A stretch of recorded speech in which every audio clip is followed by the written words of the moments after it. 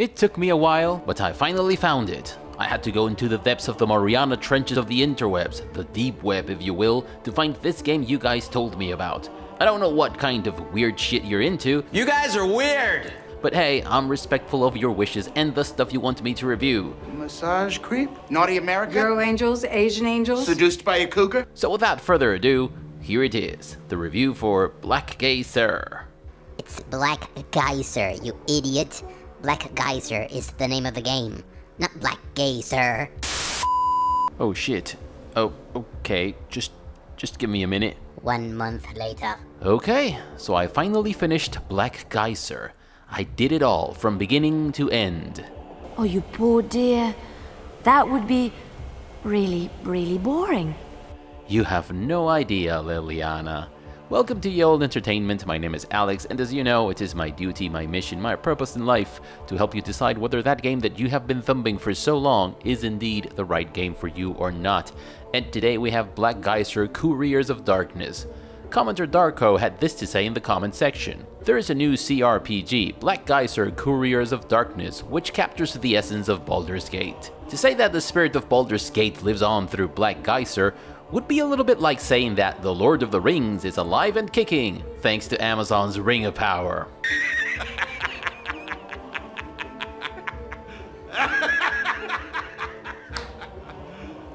You serious? Besides, who names his game Couriers of Darkness? Sounds like an evil version of UPS. A more evil version, that is. The thing is that some of you apparently like this game, and yet many others seem to hate it. This time I'm not even going to pretend that I think the truth may lie somewhere in between.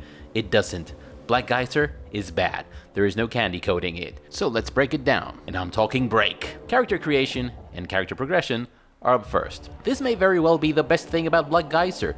You can choose from an assortment of pre-made characters, or you can create your own. The first thing you choose at the time of your character's creation is your race. This is interesting because your eligible classes depend on your race, and I think that's one way to make your race matter in the game. And of course, there are humans, elves, dwarves, because what would a medieval fantasy game be without these races, right? You also have the Rillo and the Feldagug, which are Black Geyser's specific races, if you could call them that. Your race is also mentioned a couple of times or three during the game, and I did get a bit of a sense of ethnicity from the world in Black Geyser. Helgengar is one of the first characters you meet in the game, and his reason for being out there adventuring is somewhat related to the fact that he is a dwarf, and you do get a bit of insight on dwarven culture by talking to him. Elves live in forests, isolated from the rest of the world, and they are suspicious of outsiders and resentful for the things that people from other races have done to them. Then there are the Rillo, who look and feel as though they were modeled after our own ancient Middle Eastern cultures, and these are all things that add to the immersion of the game, as little as that is, but it makes that initial choice of race matter at least a little. Then there are classes in Black Geyser, and though they aren't presented as such, you could say that they more or less stick to a two-tier category system, not unlike the one you have in D&D and Pathfinder games.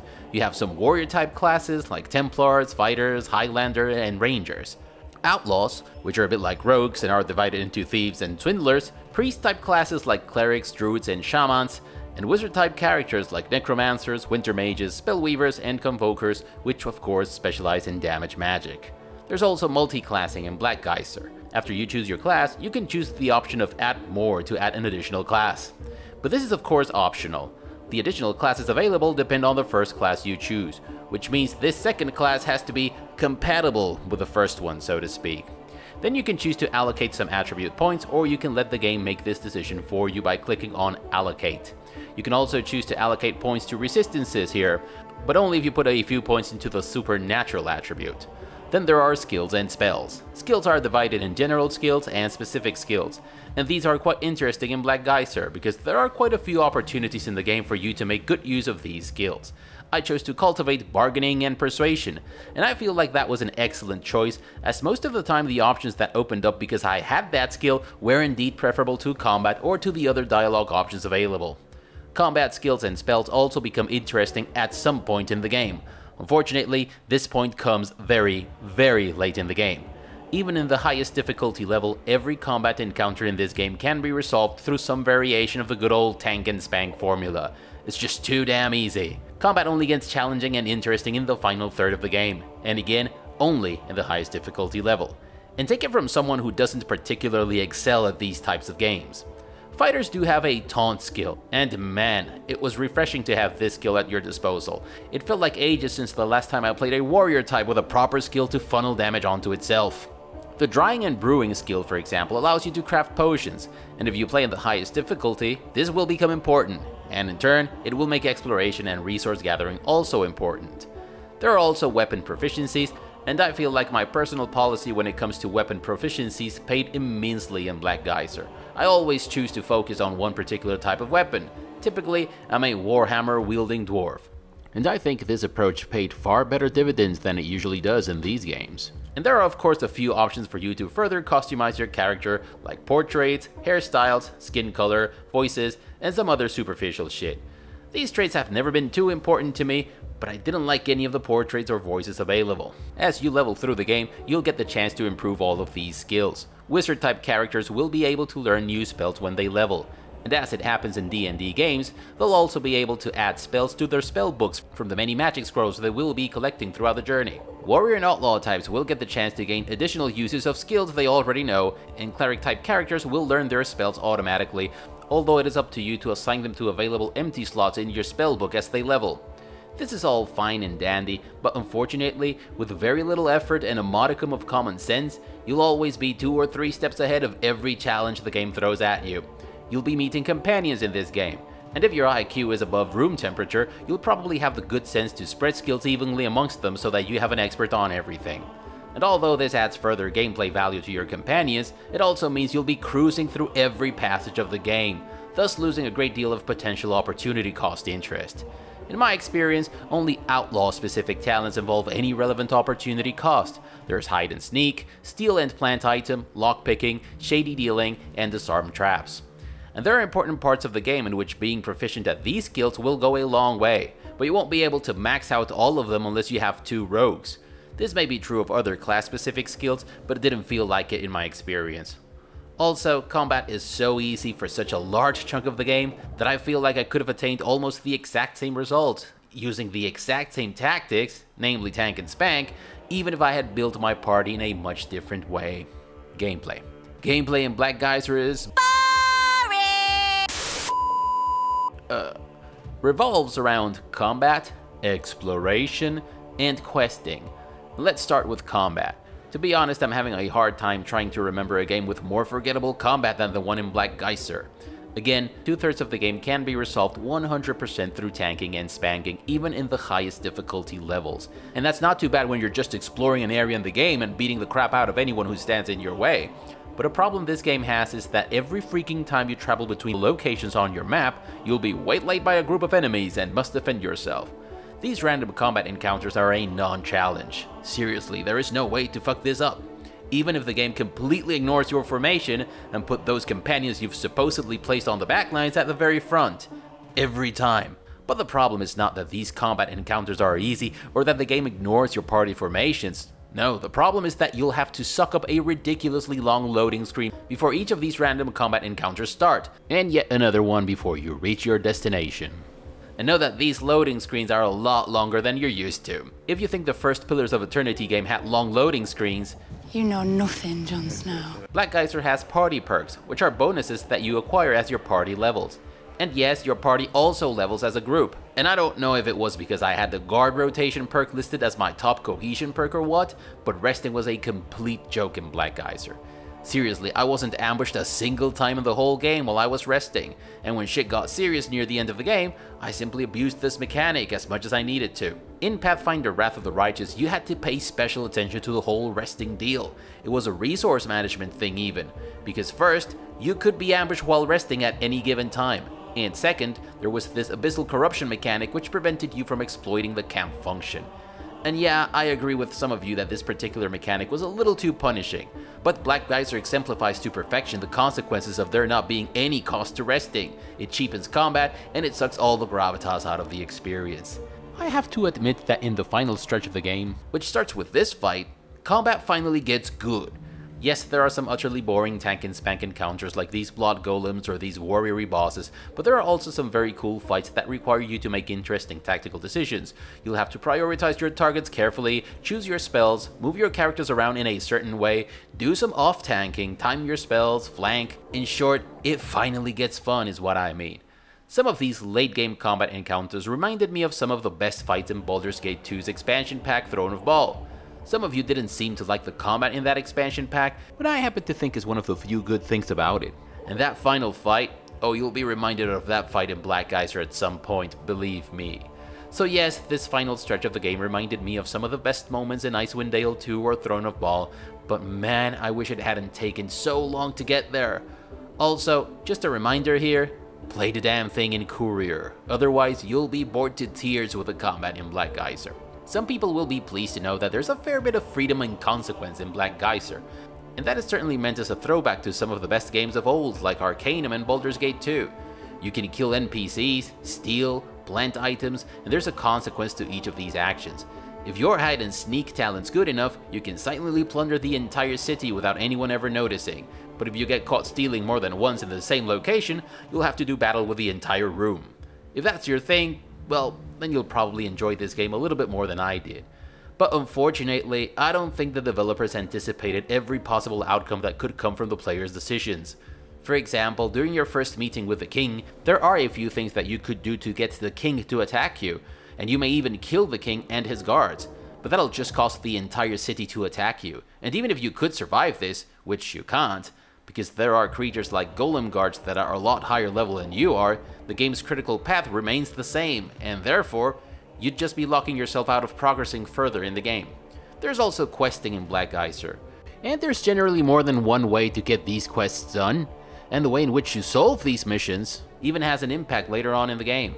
And that is always a good thing, but the game's critical path design is more akin to that of Icewind Dale 2 than, let's say, that in Baldur's Gate 2, Tyranny, or Arcanum but that wouldn't necessarily be a bad thing.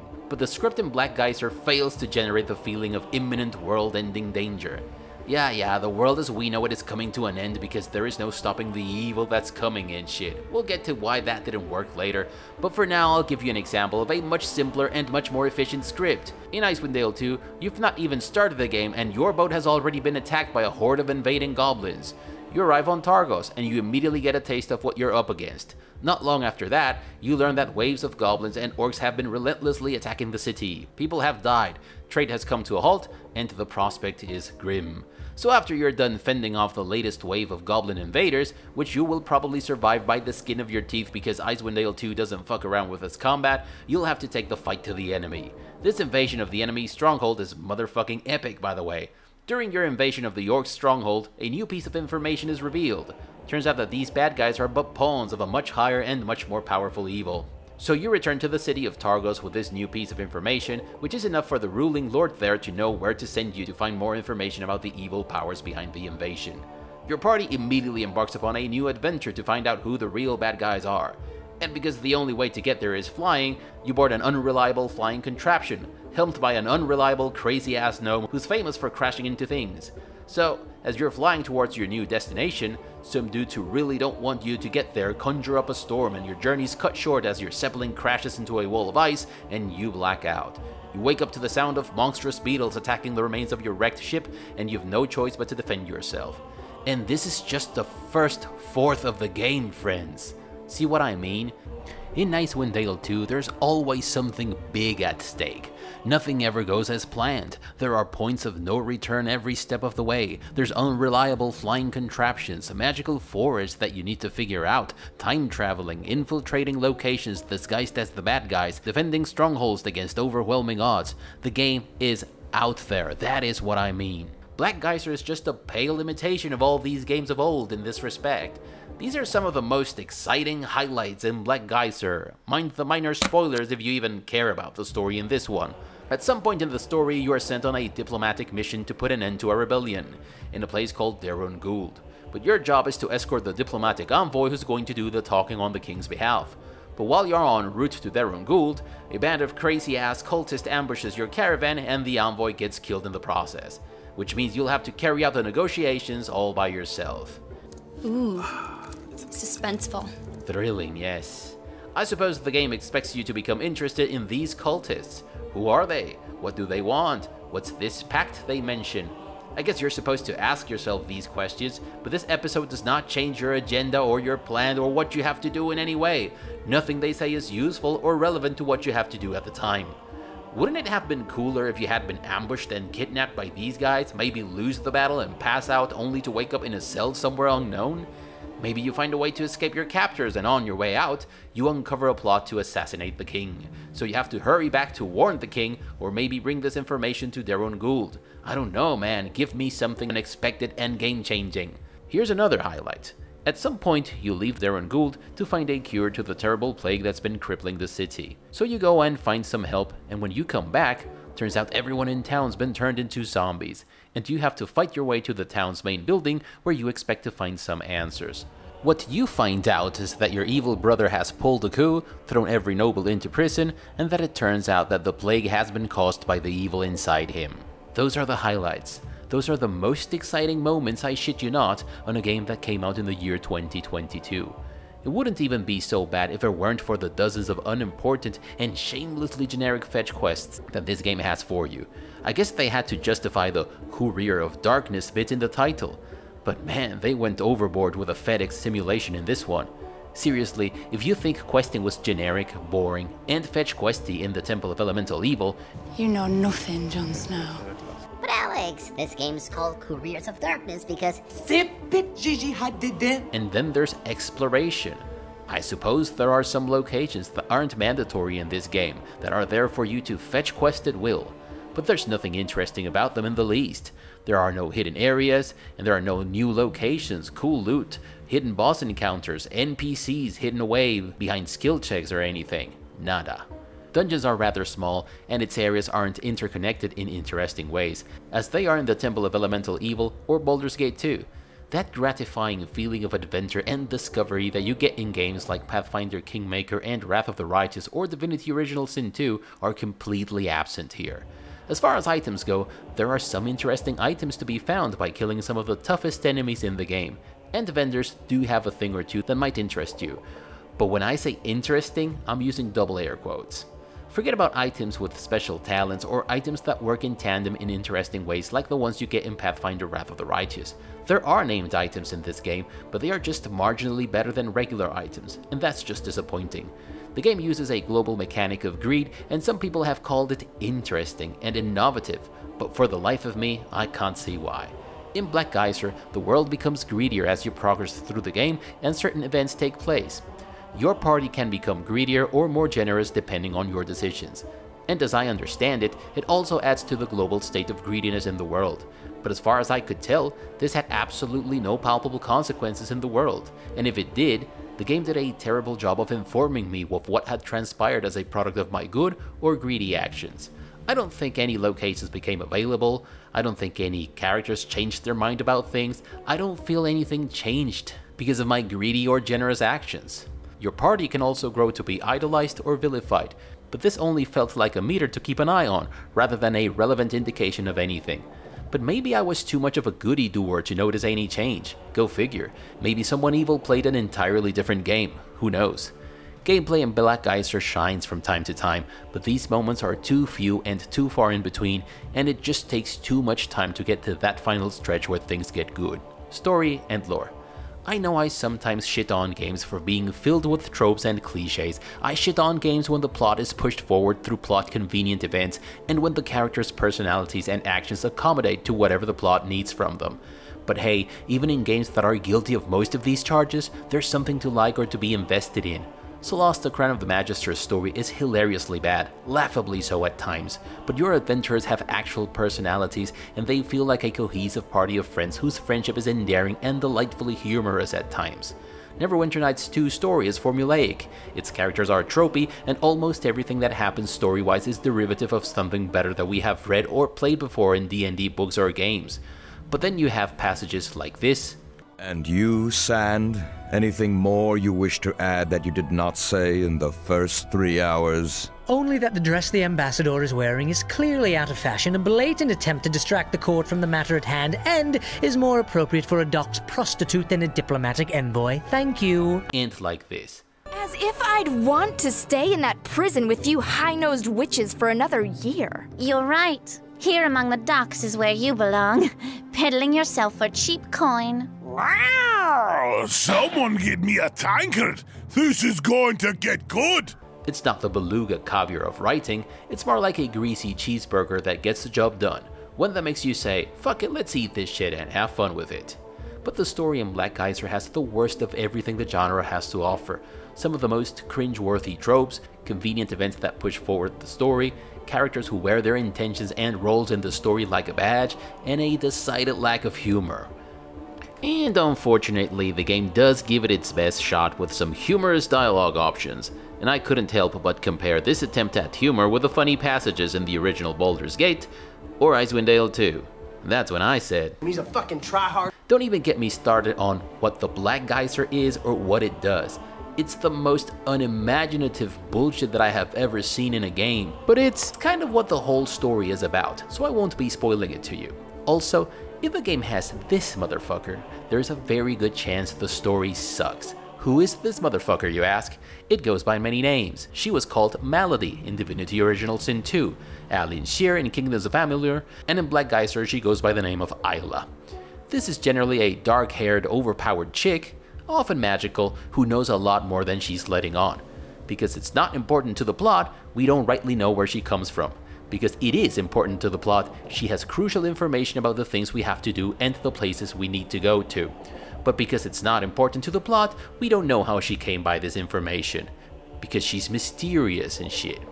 And of course, she will reveal this information in doses instead of all at once for no particular reason and these doses of plot-relevant information will be revealed when it is most convenient to do so. Why is a character such as this a symptom of bad writing? Because it's a convenient, low-effort way to sidestep the uncomfortable writing task of engineering an adventure that takes the character through peril, loss, struggle, and sometimes victories. An adventure throughout which the characters piece together the true nature of the evil they are up against, learn about themselves and the ones around them, and overcome their flaws and obstacles to complete their hero's journey.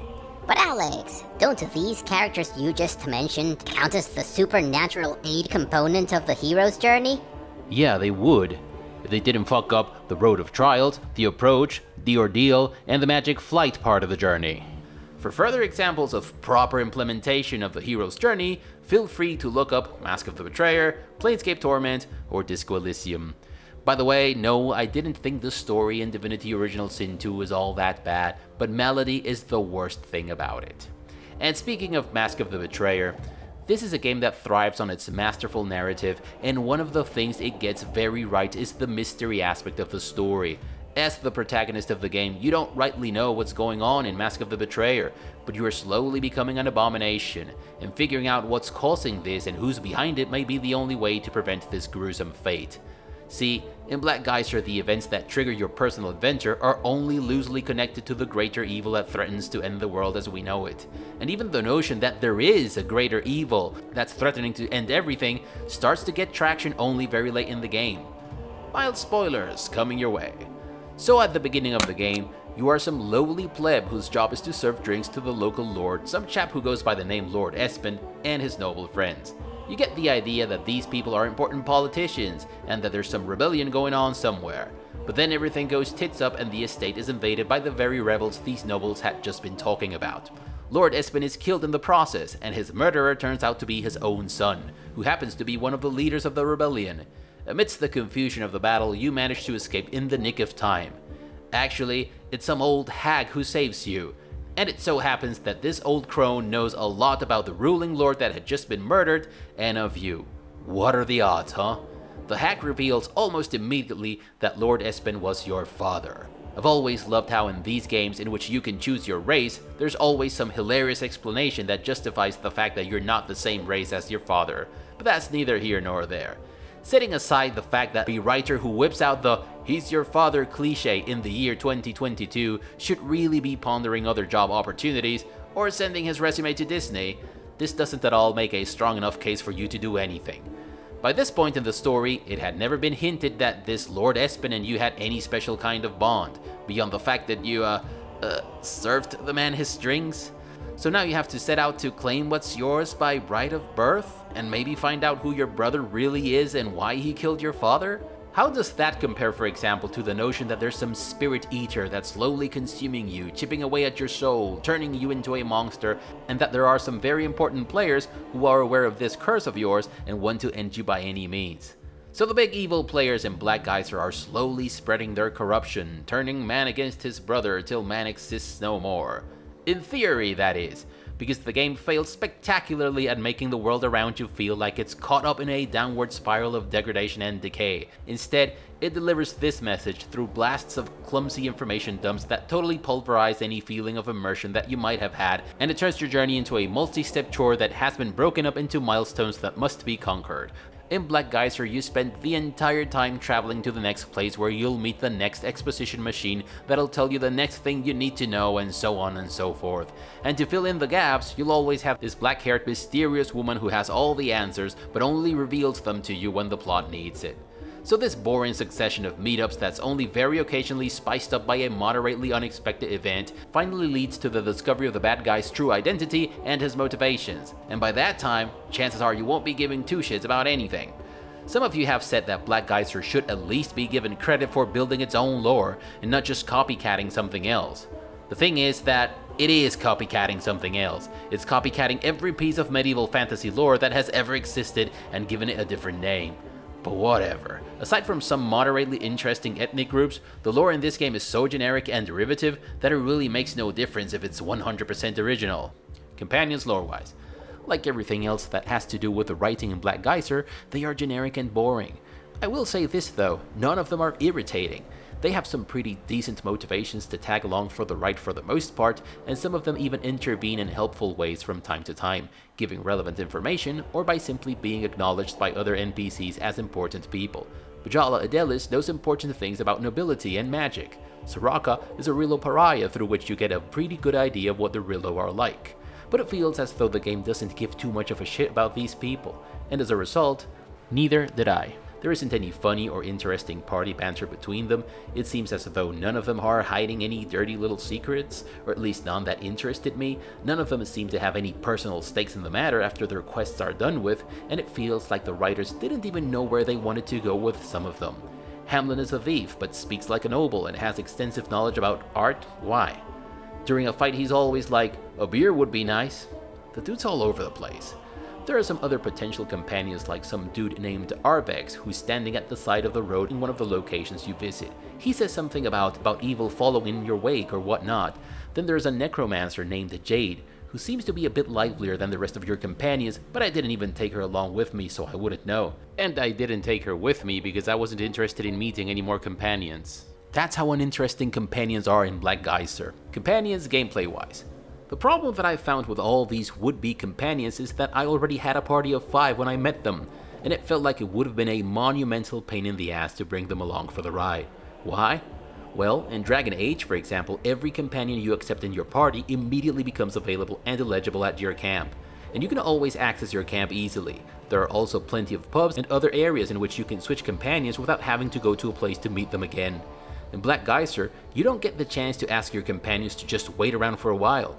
If you ask them to leave the party for whatever reason, they will go pretty fucking far away most of the times. And when I say far away, I mean several loading screens away from where you're at. Also, companions in Dragon Age, for example, didn't have to be in your party to level, which probably didn't make too much sense story-wise, and it could be a little bit immersion breaking at times, but it also meant that you could always ask any of them to come along without having to deal with them being severely underleveled.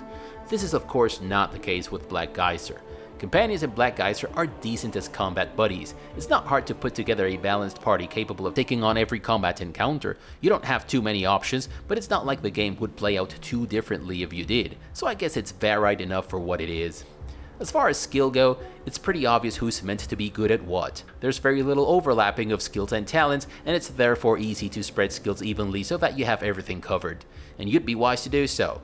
One good thing that I can say about Black Geyser is that there are plenty of traps to disarm, locks to pick, people to convince, and potions to concoct, so with a little help from your friends, you'll be able to do all of that. There aren't any guild masters, trainers, rosters of freelancers at the local pub, nor any other means for you to create your own adventurers. And well, it seems like most other party-based isometric CRPGs have this feature nowadays. Pillars of Eternity, Divinity Original Sin 2, Pathfinder, so the fact that you can't create new adventurers on the fly in Black Geyser feels a bit like a missing feature. I think you can build a solid party that's capable of handling combat and non-combat situations at Black Geyser, but you're not exactly swimming in options here. Secondary mechanics and user experience. In addition to combat and questing, there's also trading, inventory management, and crafting in Black Geyser, Couriers of Darkness. Playing the game in the hardest difficulty level will require you to at least pay some attention to your character's gear and your stock of potions and infusions, which will in turn add some weight to your exploration and resource gathering. Trading is straightforward and it uses some pretty useful filters and sorting criteria buttons. You can also switch characters on the fly with this combo box to have them take over the trading process. And if you're not a complete noob, you know that shift clicking allows you to choose more than one item to trade them all at once. Choosing the quantity of items you need is also very intuitive because there are little plus and minus arrows and a field of quantity. These are all very good examples of functions that you need to provide the user with when it comes to presenting data, such as the items available for purchase or sale. But god damn it, you cannot compare items on the character's inventory to what another character is currently wearing from within the trading interface. Why? Also on your inventory screen, there is no way to compare a weapon to both your primary and your secondary weapons at once. And weapon switching does not work while you're on the inventory screen. You have to click on the weapon twice to grab it and drop it on the slot to have the character change weapons. Crafting is pretty straightforward and practical. When a companion learns a recipe, it immediately becomes available to every character in your party. And if you have the necessary ingredients to brew a potion, you'll see a little check mark next to the recipe, and then a place items button. This makes things that should be easy, well, easy. User experience is a bit of a mixed bag though. Engaging in combat and using your skills is super intuitive and practical in Black Geyser. Also consider that you can engage anyone in combat in this game, but it is very unlikely that you'll do so by mistake. The fact that some characters will only attack you if you attack them first can also come in very handy, especially when you want to ambush them because you know there is no way to avoid a fight. But then there are some atrocious bits of user experience in this game. When you're waylaid by a group of enemies and must defend yourself, your party formation goes out the window. And as I have mentioned before, these random combat encounters happen all the freaking time. Also, this is a game that has some serious pathfinding issues, the kind you definitely shouldn't have in the year 2022. So secondary mechanics in Black Geyser are not great, not terrible. Sound effects and mix. Let's get this out of the way. This sound? It's nice. The mighty is full! And the animation that goes with it? With the screen stutter and all? This is the best motherfucking thing in the game. That little bit of lag after you pop the dude like an unwanted nasty sit? Ah, beautiful but the rest is a bit of a mixed bag. The Sonic landscape is fairly robust, although the main cities in the game could be a lot livelier and busier.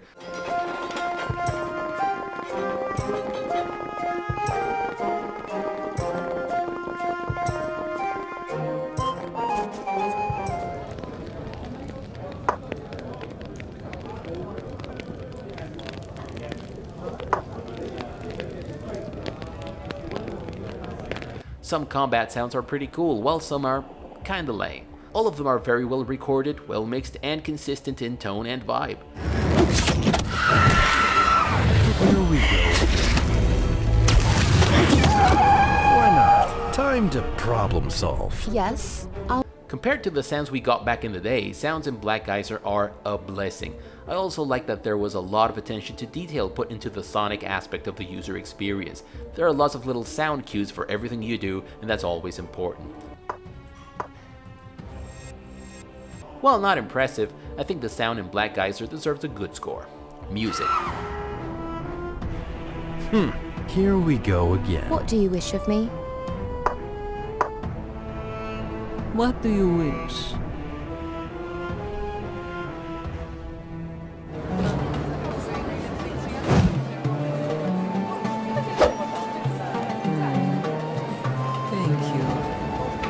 Forgettable, that's what you are. I have no problem with the music taking a backseat and doing its job of immersion and ambiance, but this one is absolutely nothing special compared to any of its peers. And everything is relative, I suppose, so while I don't think it is as awful as some of you say it is, I think it's pretty dang forgettable. Voice acting. The reports I have read recommended you be elevated from the common rabble to the nobility. I intend to honor your birthright and make you the new head of the House of Espin. Quite a stroke of luck for you, I'd say. And everywhere you appear on my errands, your rotten, eyeless face will be the sigil of your failure. The king's voice pretty decent, but aside from him, it's bad. And in most cases, it's not the actor's fault. Black Geyser is just another game that takes you for an idiot and spoon feeds you the story and everything you need to know about what's going on. And because their writing is shit, this happens through information dumps, plot convenient events, and on-the-nose expositions from the characters. And the voice acting here is 100% in tune with all of that unfortunately. The game is only partially voiced, but I wish it hadn't been voiced at all. Graphics. Everyone seems to agree on this one, and I concur. Graphics are generic, but worst of all, artistically uninspired. Look at this market square. There are no dogs chasing kids, no people gossiping, no disarray whatsoever, or worn out tiles on the floor. Look at the outside of the church and the Temple of Elemental Evil, which came out almost 20 years ago. Look at the market square in the Athkatla Bridge District in the city of Amn in Baldur's Gate 2, or this market square in Divinity Original Sin 2. Graphics are not only about locations and building models, of course. This department also includes character models, weapon items, animations, and the interface. And while none of that is terrible, it's not great either, aside from perhaps the interface. Some of the best items in the game look cool on your characters, and when you click on them to know more, some of them have cool little artwork. I like the fact that there are two different types of slings, and the Fustibal type in particular looks actually pretty cool on your character. Some enemies, especially near the end, have decent character models, and there are some neat animations, like the one I just told you about when you crit an enemy to hell and gone, or this spell, or your character's animation when he uses the fustibal to strike someone from a distance. The best aspect of the graphic package is without question the interface. It's consistent with the game's genre, its setting, and tone. The choice of font was adequate, and icons are clean and useful. Still, make no mistake about it, when compared to other games in its league, Black Geyser sits very near the bottom in the graphic department. Performance and stability. It isn't great. The game crashed a couple of times, and it has way too many loading screens and they take way more than is acceptable nowadays.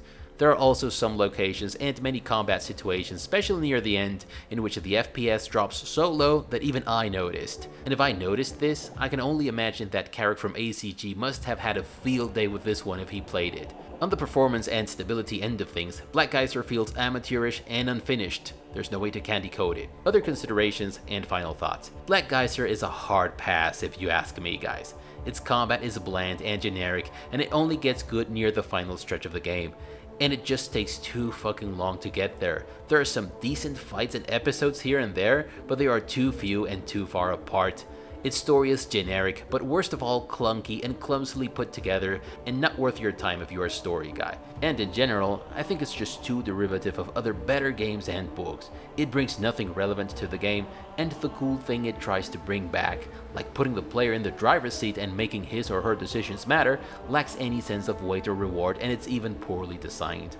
I know that some of you may be doubtful about getting games that came out almost 20 years ago, but trust me, regardless of how poorly some of their user experience aspects and production values might have aged in some cases, they are all just light years better than this one. As for new games like the Pillars of Eternity series, Divinity Original Sin 2, Tyranny, Torment, Tides of Numenera, hell even the ones that I didn't like, like the Pathfinder games and even Siege of Dragonspear, they are all preferable to Black Geyser in my estimation. So this is the final score I'm giving it. If you liked the video, give it a thumbs up. If you didn't, thank you for watching all the way up until now. If you like what you're seeing in this channel, please consider subscribing and clicking that notification bell to avoid the usual YouTube shenanigans. Share the video, but most importantly, never stop gaming, but don't let gaming get in the way of your hopes and dreams. Bye everyone.